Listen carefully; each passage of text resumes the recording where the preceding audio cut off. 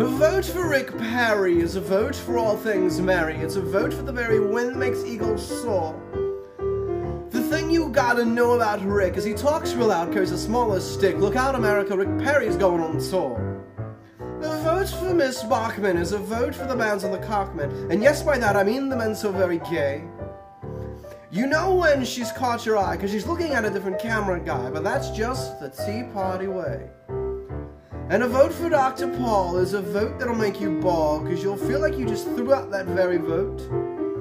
But believe you me, it's all okay, because Dr. Paul is here to say, even if all he knows how to play is just one note, a vote for Herman Cain is a vote for a man with brains, who will support those at the very top of the world.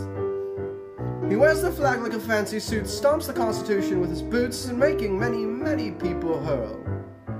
A vote for Rick Santorum is a vote for the finder decorum, cause if you're a minority, he's definitely on your side. There are all those other guys whose own words are their demise, and you can Google Santorum to justify all his pride.